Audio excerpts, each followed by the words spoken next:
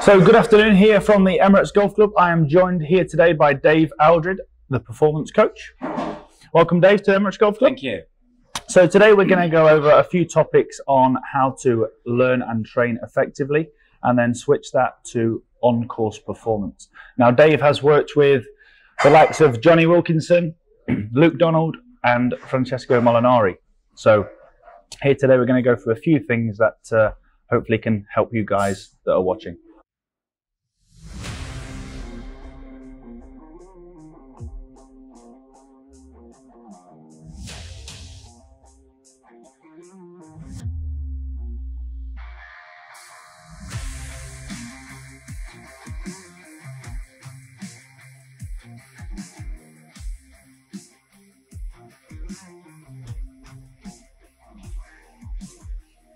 So first of all, Dave, um, let's go through your your book, uh, Pressure Principle, um, and any of the things that are in there that we can relate to golf coaching and um, on course performance.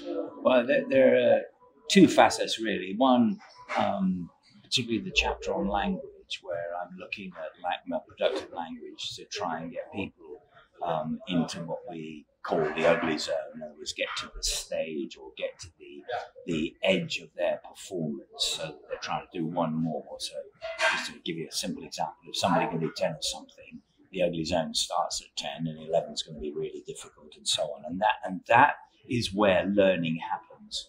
And to be able to create an environment where the player has their self esteem intact and can be totally committed in terms of his attitude and his application. Okay, it is language and how we communicate that actually makes the difference. Okay. Um, and and it's it's frightening to me how many coaches don't spend time looking at how they communicate. You know, there's a great saying, you know, the meaning of the message is the response you get. And, and what tends to happen is uh, that a lot of people, if they don't get what they want, they say the same thing but louder or slower, but actually they need to change the message completely. So it's um, it, there's a lot of work in there, and I've divided it up into negative language, positive language, and productive language. And uh, without going into too much detail, um, negative language is any language where you're asking somebody to not do something. Okay. So, you, you know, rather, let's say you're working with a player and and he's taking the club on the inside, and then it comes up and he's going to throw it as a result of going on the inside. The temptation, quite naturally, is to say, well, you know, don't take the club on the inside. Yeah. Okay. Well, what will happen is you then start this process of negative avoidance, which is actually I'm more concerned about not making a mistake than I am about trying to achieve. So what you sh- should do is okay you want to give him something that if he achieves it, it makes it impossible to do what you're trying to get him to, to not do, if you like. So a stick in the ground that's slightly leaning back on the plane would be something, let's see if you can play. And then you might want to exaggerate and put the stick a little bit further forward so you go beyond where he needs to be. So he gets the feeling of discomfort, not at the end point in terms of performance, but beyond the end point. And then the learning is a lot deeper. Um, so that's that's the, the main thing ab- about trying to make sure that the person is totally committed to wanting to do something rather than trying to avoid something. Okay. So in terms of um, getting that person to feel uh, the improved movement or the correct movement, so to speak, um, when I'm on the range coaching a vast number of golfers, whether it's a complete beginner or a tour professional, I'd, I'd implement a training aid just to give them a feeling or a, a visual of what they've got to try and achieve. Um, and by by doing that, they're getting a feeling. Um, and I would only get them to do it between sort of three to five golf balls or three to five repetitions of a movement before changing the task, making it varied um, to give them a real sort of insight to what they're trying to uh, achieve. What, what, what's your thoughts on well, repet- number of repetition and that type of thing? I, I think, I mean, first of all, uh, coming on, you know, if, you, if you're using a training aid that pushes you beyond where it's comfortable to be, So an exaggeration, yeah. Exaggeration. So you go way beyond um, what you're trying to do. Um, so, for example, if somebody, you know, you say you want somebody to get in a position where you want them to cover a ball, okay? So one of the practices might be, okay, I want you to hit the ball, but I'm going to place it on the ground, not on a tee. I'm going to place it three inches past your left foot. Yep. Now I've really got to exaggerate. Yes, of course. Yep. Okay. So I'd rather have them do that, and they go, "Oh, this is really awkward." And I said, "Right," and then move the ball back to the area that you first want them to go to. Yeah, yeah.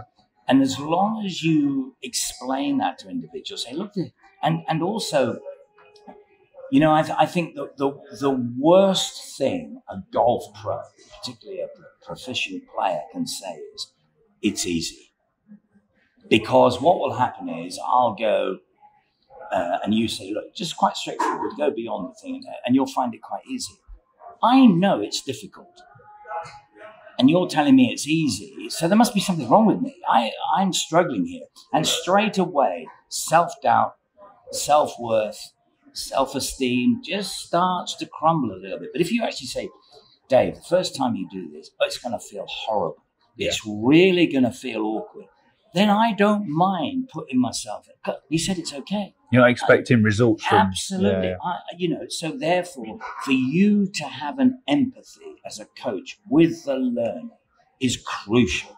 Um, so that's the, the, the, part of the exaggeration. So if you've got a, a training that makes you go well beyond the point at which you need to go, um, you know, then I'm thousand percent for it because it's far better to learn a position to be able to come back to it than it is to ah, just about get there because we know if we're under pressure, we'll be nowhere near it. Yeah, for sure.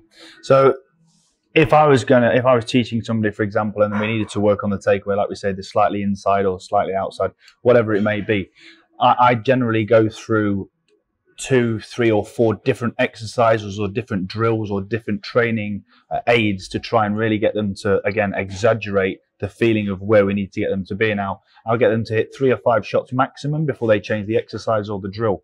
And there's generally always one exercise that they like particularly more than another, even though it's creating the same feeling or the same movement yeah. effectively. I think, well, there's a couple of things there. Um, I, I really do like the idea of having slightly different approaches to get to the same thing. It keeps the brain fresh. The second thing, which I totally applaud you for, is actually reps of five or six. Now, in, in rugby, I use six. Um, it doesn't matter why. But golf, I like five. And the reason I like that is that if I want to do, let's say, as somebody says, right, I need to do this, I need to do at least 25 reps a day of practicing going back to the stick or going my, my playing uh, on, on the edge of the stick. If I do 25, one after another, then the only deep learning comes from the first one. Yeah. So, in a horrible way, 49 of them are a waste of time. And you'll say, yeah, but it reinforces well, okay, number two might, number three might, number four, not sure, number five, and now we're into just repeat, repeat, repeat, repeat, repeat. So if I say, right, instead of doing 25 of these, we're going to do five sets of five, yeah. that gives me five opportunities for that one first shot, which is our match shot. Yeah. So already, if you look at the process of behavior matching, we're already closer to a match behavior. And the other thing is that five, I can hang on to five. Yeah. You know, I can still keep the brain alive. And if you tutor the individual to think about the same things slightly differently, then you really are in a, in a good place in terms of the learner making progress. Yeah, for sure. And then on the flip side of that, you've got the training to learn and the training to perform. So again, a lot of the people that I coach, um, I like to go through the learning phases first. And then I then get them to relate the same sort of process, whether it be three or five golf balls, depending on the level of golfer. So obviously, if you've got a, an elite professional, for example, I'll reduce the amount of balls for that particular yeah. performance challenge as such. And then if it's a, a, a beginner, I'll then obviously increase the amount of balls. So again, they're getting a better understanding of what they're trying to actually achieve. So when I'm when I'm giving coaching program, it's all about how to learn effectively and then relating that to performance so we can actually get that out onto the golf course because most of the golfers that I deal with are all happy to stand on the range in the same spot and hit a seven iron 50 times 100 times. And actually like you say there after the fifth repetition sixth repetition they're actually not gaining anything from that. So going from training to learn and training to perform what what is the biggest significant difference there that you find from the from the two well i think I think the one thing that we need to be aware of that if you're asking anybody to do anything different, I mean, you, those people that are musicians will know here's a new piece of music to learn. There is a, what I call the ugly zone. It's a messy area where it's full of angst and frustration. I oh, missed that note again, start again, etc., etc. And I find golf is actually really ugly. and um, and there's a lot of stuff. So, so if I'm if I'm determined to try and get this right, okay, and I and I work on my tech and work on my technique, and I've got the technique right, okay, or acceptable as far as you're concerned.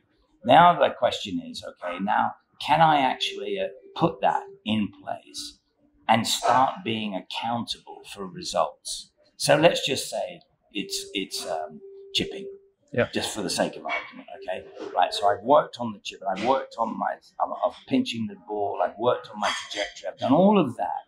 Now you're standing 25 yards away next to a pin. So right, Dave. Okay, how many does it take you to get five within three feet? So I have to, right, okay. Now all of a sudden, yes, I'm on the process, but I'm being assessed on the outcome. And, and the ugly zone in that is the ball rolls and you put the, the pitching wedge in the hole, and if the handle touches the ball, it's in. If it doesn't, it's out. And I've been in many occasions where the guy's saying, you know, can you stretch the shaft a little bit? is it in? Is it in? Because if it's if it doesn't touch the handle, it's out. Yeah. End off.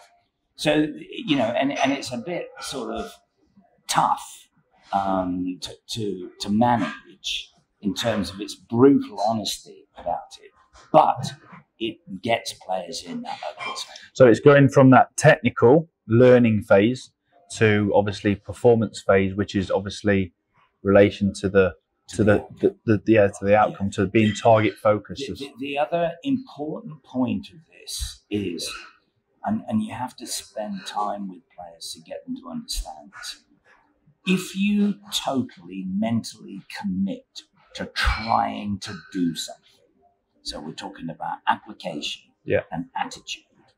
And you don't achieve your outcome, the brain still learns. Okay. Now it might not be comfortable, but that's why we go through these plateaus of learning where you try, try, try, and you keep doing. I still can't get this flop shot where I have the toe down and blah, whatever it is. Okay. And then all of a sudden, for one day, you just do it, and you go, "What, what was all the fuss about?" It was the brain that's getting battered by your commitment to want to learn eventually makes those, let's just call them neuro highways. Okay, yeah. I'll do it. You've been pestering me long enough, and the brain does something different and changes. And, and that's what you're trying to do. Now, interestingly, and this is where I, I sort of kind of take issue with, with coaches, in that you need a bit of vibe and excitement. Now, if you look at young children, four, five year olds, and they're getting ready to go and play, or they're going to do a new game, or they're going to learn something new, they're vibrating with excitement. Yeah. And that's one of the things, one of the green arrows that I call that you need to get in the ugly zone. I need to be enthusiastic about this. And sadly, adults, it's not very cool to be enthusiastic. But actually, you, you, you need to get them on that train. Yeah. Um, and I think that's just the. Uh, again, for me as a coach, it's trying to educate the the students, whether again it's a complete beginner, an, a child, an adult, or even a, a, top professional. It's getting them to understand and believe what you're telling them, and how to implement the training to learn section and the and the training to perform section. Trust in you as a coach to be able to deliver that and get them to change the way that they continually train. Because again, it's golfers. I'm, I'm on the range teaching of a night time, and there's 60 golfers, for example, let's say, all hitting balls one after the other. But it's how do we now, for me, I want to try and revolutionize coaching and get people to understand that we can train more effectively to become better. And I'm trying to change that mentality with with with with golfers, obviously, especially because that's my that's my niche market. But how how would you advise me as a coach to try and implement this to to, to players well, of I all think, levels? I, think it, it, I mean it, it is quite challenging to do, but I think it's vital that you accept the challenge. So I, I would say, well, okay, let's just look at strike and line and you do so many of that. So you could call that repair. Right now, let's look at training, and now we're going for a target. Okay. So I want to look at strike and line, but also how many do you get in this three meter channel that I put out um, 100 yards or, or, or whatever. And once it becomes an outcome, now this is important. A lot of people, sadly, are caught up with this out of assessment. So, you know, if you said to me, okay, so rate your putting, and you go, Oh, three hours. So recording your recording well, your. No, it's no? not the recording. It's actually the, the the the message that goes with assessment. So if I'm not very good at something, okay, I start at three. Okay. Might be two. Yep. You say. So what do you like out of the bunker? Well, probably about three out of ten. And what do you like? Um, the long iron going into the green. Well, I enjoy doing that. Okay, I'm about eight out of ten. Okay. Those numbers, the three out of ten and the eight out of ten, are totally irrelevant. Okay? And this is why. If I do a test, and, and this is a, an important part about timing, okay? If I do a test, okay, and I'm out of 10, how many do I get out of 10 attempts? In my head, what, whatever we say and whatever you say, if I get three, I'm not very good. No matter how good, I'm not very good. Yeah. If I get all 10, I'm pretty cool, and this is probably too easy for me. Now, I would say, okay, so what about the three out of 10 and make it more difficult? So rather than be having success or failure, I'm a failure if it's three, two out of 10, is actually you say everybody can be successful, but some people can get there quicker. And the way we manage that is how many shots does it take you to get five within a channel? Yeah. So everybody's going to be successful. Now that's a great starting point because then the model becomes okay, it took me 15 shots, and you don't mind taking 15 shots because you actually achieved it. So there's an achievement there. Now, I have been successful at 15 shots, but if I could achieve the same number with less shots, I will be even better. Yeah. So my mentality is completely different from an out of, which gives me a pass or fail. Well, what else we got on there, Dave? Uh, ugly zone, covered that. Uh, taking responsibility for their own improvement.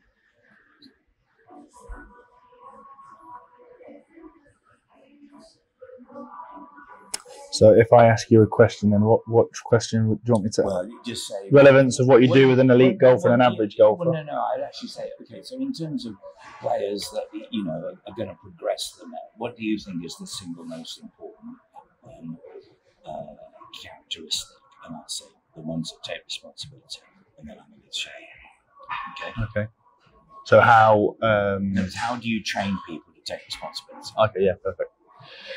So, Dave, how would you get people to take responsibility over their training?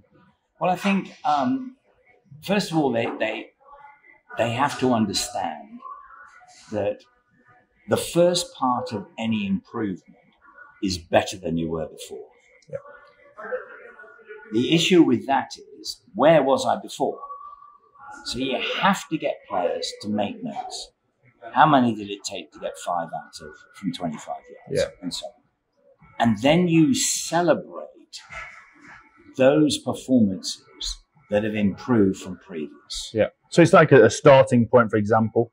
You um, establish, yeah, you establish, establish, your starting point. Where you are at That's currently. It. That's it. So we, we just call that snapshot. Okay, now we've got short putts, long putts, chipping, blah, blah, etc. Now, can we systematically get better than I was before on all of those. Now, there are a number of things. Number one, I am the only one responsible. Yeah. I'm not affected by anybody else. No. So I can take complete responsibility because I have complete control. All right. The second thing is it gets people to start looking and challenging themselves. I did a PB the other day.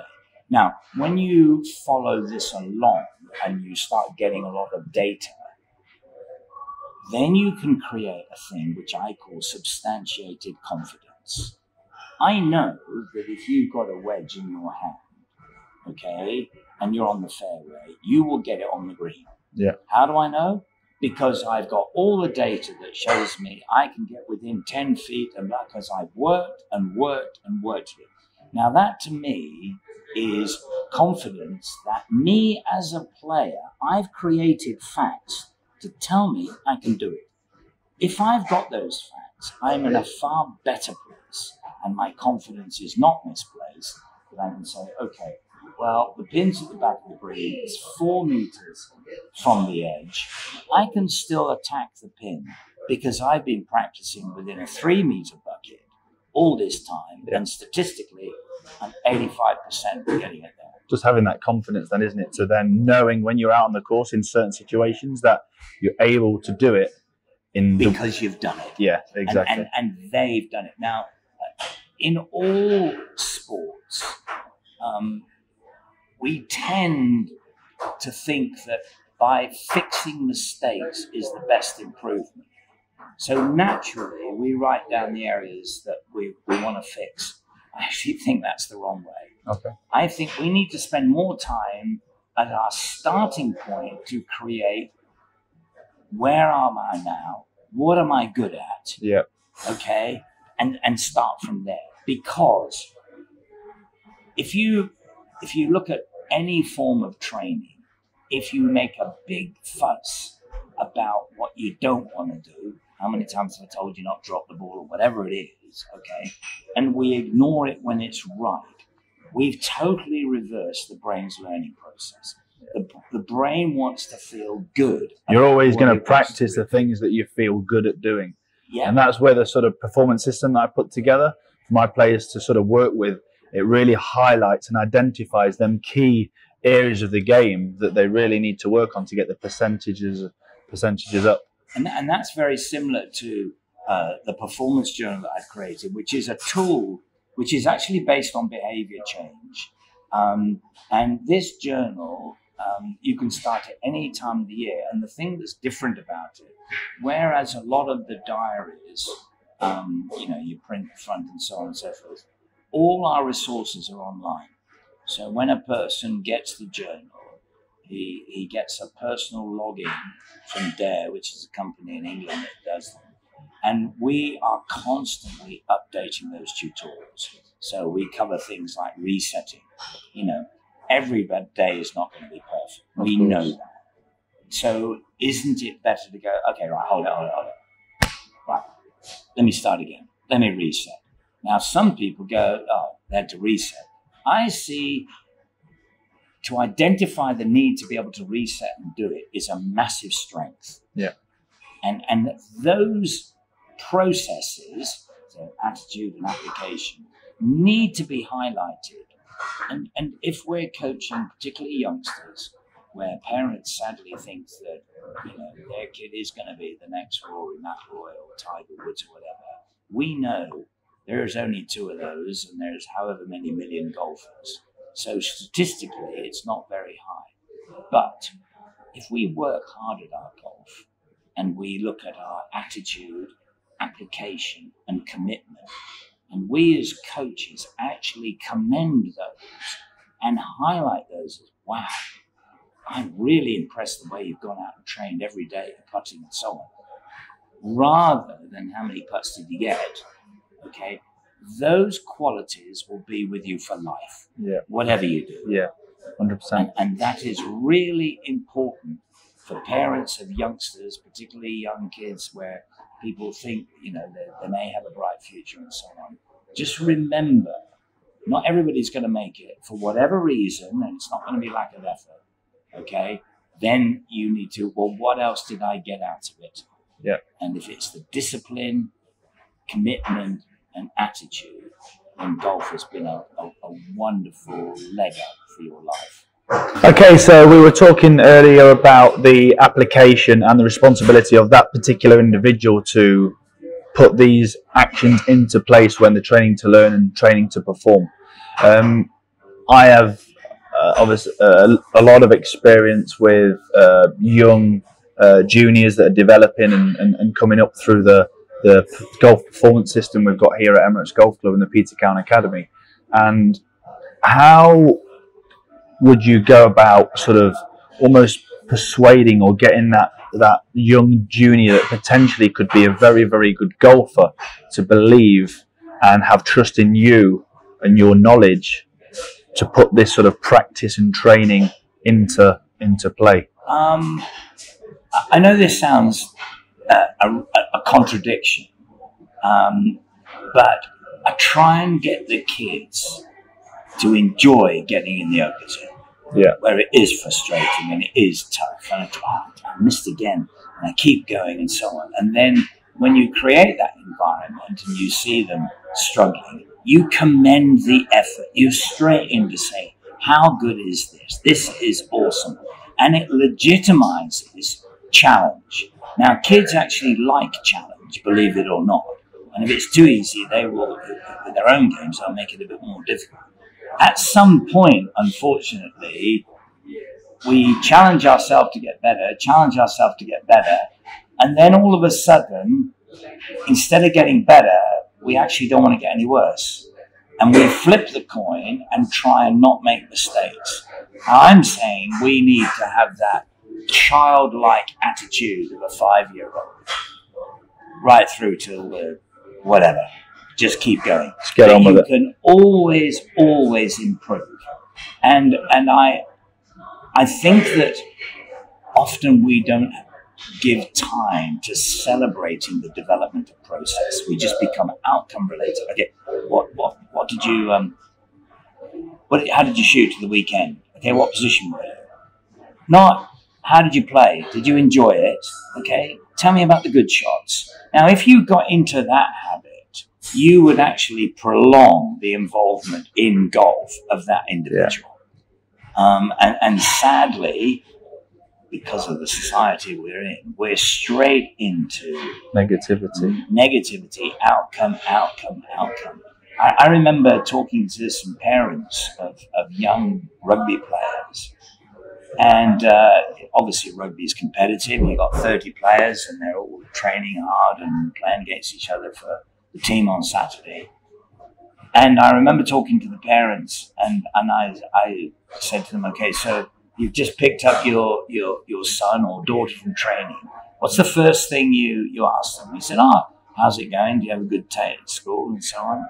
And then they actually opened up and far more honest when they said, well, are you in the team? Now, that's fine if they are in the team.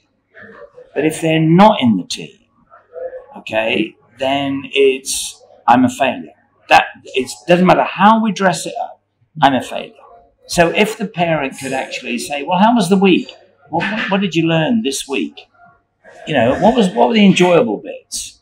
You, you know, you know, um, and and start getting into the process, reliving the experience, taking out the bits that you want, and ignoring the stuff that you don't want. Right? They're not on the team on Saturday. Oh, so what? I remember when George Ford was at Leicester, the first time he was at Leicester, he wasn't getting games at all. And it was actually quite difficult for him. And I just got into the attitude to say, look, their loss, another opportunity for us to get better on the weekend and go out and do a really good practice session weekend rather than play. So let's take whatever we're given and make something out of it. Um, and it's not easy. But it's much better that way round than the other way round that actually says, okay, you're not in the team. What do, what do we have to do to get back in the team? Because if getting back in the team is everything, then that is outcome. If you look after the processes, you will improve and you will get back in the team. So again, it's how you apply yourself to, Absolutely. to certain situations. Yeah. Yeah, yeah. So in terms, so now moving on to uh, routines on the golf course, whether it be a putting routine or a, a, a teeing off pre-shot routine, uh, I use something called Osvia. So when I was going through my PGA training, um, I had a, a, friend that is a golf psychologist, and he uh, he taught me this process. And basically, Osvia is observation of the shot, selection of the club, a visualization, um, uh, an execution of the shot, and then after, so to speak, like the Tiger, the Tiger um, era, he he's got like this bubble around him, and as soon as he walks out the bubble after the shot, he sort of forgets about his shot. So, how would you advise people to really work on their process when they're when they're training? Yeah, I, th- I think. Um, I mean, a pre a pre-shot routine is absolutely vital whether it's a specific one that everybody has the same, I disagree with. I think it's whatever gets you to prepare well. Now, if we're under pressure and, and our mind is allowed to be receptive to everything else around it, I do worry that there are thoughts in there that aren't particularly helpful. So the first thing I do is is get the player to pick out the target, but not just well slightly to the left of the flag or let's go to the right side of the fairway. It's not good. Be really, really what, sort of pinpoint what piece of turn, where, what shadow are you actually aiming on the right side? And although it sounds a little bit, oh, aren't you just being a bit pedantic? I said, well, no, because if the brain is really, really focused, and then I get them to take a picture in their mind's eye, so that when I'm over the ball, I can still see the target vividly in my mind's eye. And what that tends to do is, as I hit, my energy and thought is going towards the target. Right now, um, if you want to look at that, which is a bit more um, obvious, is look at goal kickers in rugby, and you'll see them look at the ball and look up at the post. Now, the interesting thing is that the goal kicker has to superimpose his own target in a gap. There isn't anything there. No. Um, and the geometry of picking a spot behind the post doesn't work because if I'm standing behind the ball and uh, Doris has got a little purple hat on and she's dead in front of the post, that's a really good target line. But actually, when I've taken three paces to the side, she's no longer in the middle. No, so that's no good. So I need to find something that's on a plane with the crossbar in a single spot and visualizing that spot and looking up and fixing it and then back and looking up and fixing it. And then as I come in, it's in my mind's eye. So that to me is one of the most important parts of the process to get you to, if you like, throw your energy, thought, and being towards the target. So that vision, that visualization, almost is creating the action that you need to deliver on the ball. Is that what you're sort well, of trying it certainly uh, it, it, helps us direct the force through the all the other things, which is just. I mean, I often say uh, to a, player when I'm working with them. This would be a tall player. Um, okay, that one you really hit that with your soul. Yeah. In other words, you were right on top of it. The ball wasn't going anyway, but straight to the target. You imposed yourself on the ball, and that comes sort of quite nicely to the second thing: is what mode and emotional ticket do you have to have to be able to produce that? Now, you can't be passive and dominate the ball. Yeah. There, there, has to be a bit of aggression. So it's teaching people that, you know, you have to mean it. You have to get over the ball and actually decide this ball is going, not, oh, let's hit it and see where it goes. Yeah. Because that's an apology. Okay. So you need to really dominate the contact. And just the words like dominate, get over the ball, gives a picture of the sort of emotion that you need. It's not a passive, you know, you're not an artist anymore. You're, you're basically an enforcer. Yeah. But an enforcer with deadly accuracy. And the, some of the metaphors I've used have been the the ice cold evil assassin.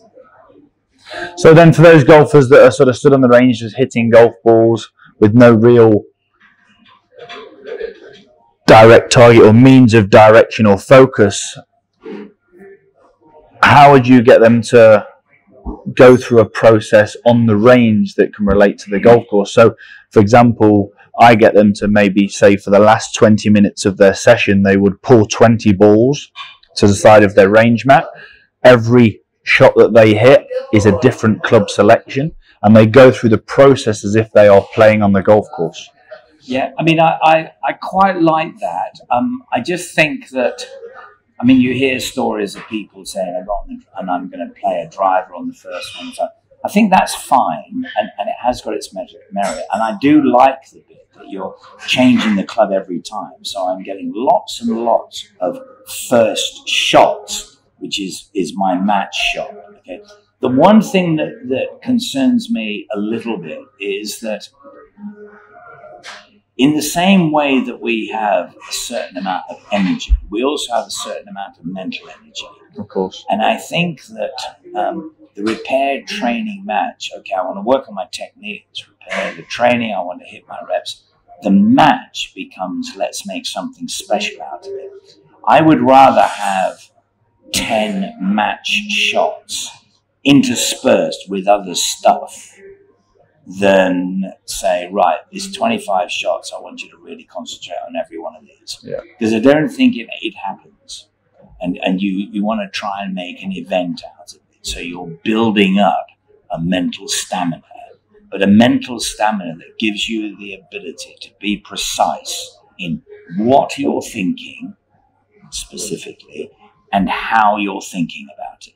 So, Dave, as we've mentioned your book earlier, um, what other things in there, like language, um, would you be able to sort of direct towards a, a golfer trying to change performance? Well, certainly um, the, the, the, chapter on anxiety is to how to perceive uh, a situation where it has become anxious into us and to reframe it so it's a situation where it gives you energy and you, you're excited rather than dreading something. Um, I, I, I I was half tempted to try and write the book, if you like, on mental bits like pre-shot routine and so on. But I've actually found in my experience that actually it was better to write it in a way that the chapters uh, really cover areas to look at. Like, for example, there's one chapter which is on the environment. What sort of environment gives the best training? Yeah. And it's actually how you can manipulate the environment. Um, and, and if you look at, uh, you know, what is a match environment? Now, if, for example, if I just give you a simple scenario, if I were trying to create a match environment in, in the golf range, one of the things you could do, and it means you probably have to shut it for five minutes, is you go out and you get the flags and you put out 10 different flags yeah. as well as the markers. Wow. So I've now upped the ante completely. So I've got 10 flags and I've got cones three meters either side. Okay. Now I want you to see how many shots it's going to take you today to get every one of those. Yeah. Now it's it's special, isn't it? Of it's course, suddenly yeah. ah, and it's pushing you towards that more special of being on the course. So uh, environment's really important. Obviously, language, which we've spoken about. I, I really do believe that the best coaches, and I don't mean best in terms of technique, the most effective coaches in getting players to learn uh, as effectively as they can are those that create an environment and have a relationship with the player that he can totally commit and not match his intention and still have his self esteem intact. Yeah. And if you can create that, then you're going a long way towards getting somebody to improve, enjoy improvement, and you know who knows where they'll end up. Of course.